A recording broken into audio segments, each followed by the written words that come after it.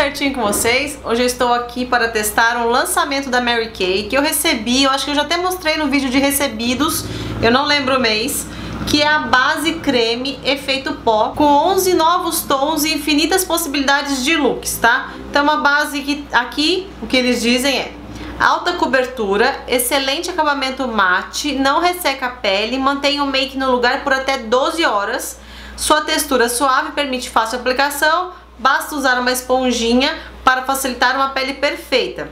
Mesclada a outros tons, é possível inovar na hora de fazer o contorno ou um toque de glamour. São infinitas possibilidades em um só produto, o acabamento perfeito é possível com a base creme efeito pó da Mary Kay. Eu já usei, achei ela bem interessante, gostei dela bastante. E o que eu mais gostei, por sinal, é o seguinte, a base da Mary Kay, as bases em geral, eu gosto da cobertura, elas têm um acabamento muito bonito, só que em mim eu tenho uma reação alérgica com as bases delas, principalmente aquela base de efeito mate que muitas de vocês gostam, realmente a pele fica linda, mas os meus olhos ficam extremamente irritados e aí eu não consigo usar. E com essa base isso não aconteceu, que eu achei uma maravilha, já que a proposta é muito interessante, tá? Então eu escolhi aqui, já que são 16 tons, eu separei vários tons é, da base. Elas vêm assim, tá? Nesse estojinho, nesse estojinho, eles me mandaram todos os tons aqui, eu até tô pensando em fazer uma paleta de cores. Elas vêm no estojinho assim, então, ó, tem 10 gramas. E aí você compra individualmente aquele estojinho que você pode colocar blush, até tenho daqui de blush da Mary Kay, que é um blush com um iluminador.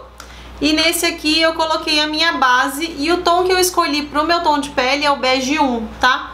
Eu vou aplicar com pincel, com kabuki, mas eles recomendam até com esponjinha. Eu tenho uma habilidade maior com pincel, testei com esponjinha, mas na minha opinião com pincel eu consigo um acabamento mais mais natural e uma leveza maior, tá? Então vamos aplicar? Eu vou começar aqui, ó, vou fazer metade pra vocês verem e aí depois eu faço a outra metade rapidinho, tá? Ela tem uma densidade um pouquinho mais grossinha mesmo, então é uma alta cobertura e ela tem um cheirinho muito, muito, muito suave, muito gostoso por sinal, não me incomoda em nada, não tem aqueles cheiros que tem algumas bases que tem um cheiro bem forte, assim, de produto químico, sabe? Parece petróleo. Sei lá, parece que você tá passando um produto químico desses de oficina mecânica no rosto. Vai falar que você nunca passou uma base que tivesse esse cheiro. Algumas bases tem, tá? E essa não, essa tem uma textura muito suave, ela parece um mousse. Logo que você passa, a sensação que você tá passando um hidratante, então não é uma base que dá aquele efeito de tô passando algo pesado. E ela já vai ficando bem sequinha quase que na hora, tá? Ó, quase que na hora. Eu vou passar com um pincel pequeno nessa região, depois eu vou com um pincel maior pra fazer o acabamento do rosto. Ela tem uma cobertura legal, principalmente pra quem tem olheiras. E acredito eu também quem tenha melasmas, tá? Ela me parece cobrir muito bem peles com algum tipo de pigmentação assim com melasma, para quem gosta de cobrir sardas, apesar de ser uma tendência a sardas. Eu quando vou maquiar pessoas com sardas eu pergunto, você quer que esconda ou não? Porque tem gente que gosta das sardas e eu acho muito legal permitir que as sardas apareçam. Mas tem gente que prefere que esconda tudo.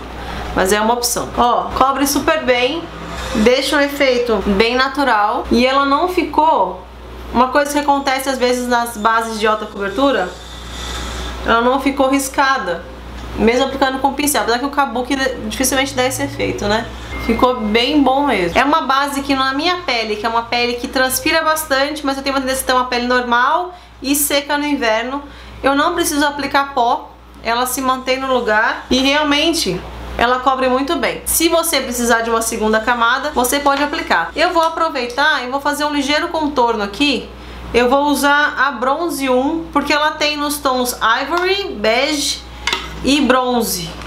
O Ivory é um tom mais rosado, o bege mais amarelado e os bronzes são que entram até na pele negra. E eu vou dar um contorninho aqui de leve no meu rosto com ela. Então esse aqui é o bronze 1. Vou aproveitar para fazer só umas marcações de leve aqui. Vale lembrar que o tom da base é um tom que parece que deu uma continuidade do seu pescoço para o seu rosto. Se você tem um tom de pele muito mais claro do que o seu pescoço, vale a pena você usar a base que combine com o tom do seu pescoço, tá? Agora eu vou preencher o outro lado e já volto aí conversando com vocês. Então agora vamos para os testes que vocês já estão acostumados a ver aqui quando a gente usa uma base. Eu gosto, para ver se transfere ou não, de passar um paninho branquinho ou um papel, que vai que você encontra uma pessoa que tá vestida de branco, com a pessoa querida, aí você dá aquele abraço e quando você solta a pessoa ficou marcada com base, que é uma vergonha. Eu já fiz isso, tá? Ó, transfere um pouco sim, tá? Ela não fica totalmente seca, ela fica uma coisa meio, uma textura ligeiramente cremosa na pele, ela não, não seca. Mas ela transfere pouco, mas transfere, tá dando pra ver? Aqui, ó. Ó, ela tem uma transferência sim. Agora vamos ver se ela escorre ou não na água, se ela vai se manter. A pessoa com medo de espiar água. Vamos ver. Ah, ela resiste à água, tá, gente? Ó, a água fica por cima dela. E ela não derrete. Ó, ela se mantém no lugar. Tá igualzinha. A água ficou por cima dela e não escorreu. Vou tirar aqui a aguinha. E ela, ó, tá vendo? Não derreteu, ó. Enxugando só a aguinha, ela se manteve no lugar. Ó, se manteve. Não escorreu nem nada. Tô até com a aguinha na pálpebra, ó. E ela ficou certinho. Assim, ela não é 10, mas ela é 9 tá? Porque ela transfere um pouquinho, o que eu gosto é quando transfere o mínimo possível, e ela, a sensação dela na pele, eu consigo sentir que eu estou de base. Eu não tenho aquela sensação de, nossa, eu tô sem nada, pele livra, livre, leve, solta, sabe? Eu não tenho essa sensação. Parece ainda que eu estou com base no rosto. Mas eu gostei demais de não ter alergia, ó, meus olhos não estão vermelhos, nem lacrimejando, como acontece quando eu uso outras bases líquidas da Mary Kay. E ela dá uma cobertura legal apenas com uma única camada. Então se você realmente gosta de uma base, uma cobertura mais mais intensa, essa é perfeita pra você. Obrigada Mary Kay pelo press kit e eu vou deixar o valor de venda dela aqui embaixo porque não veio junto com o folheto, mas eu deixo o valor direitinho pra vocês já saberem quanto ela custa agora no dia dessa resenha. E aí, você gosta das bases da Mary Kay? Você usa? Conta pra mim, você também tem alergia nos olhos? Um beijo! Se inscreve aí no canal, me ajuda a crescer esse canal. Muitas de vocês falam, ai Andrés, eu queria que o canal tivesse um milhão. Me ajuda, divulga, pede para suas amigas se inscreverem. Vamos juntas então nessa jornada, tá? Um beijo. Tchau, tchau.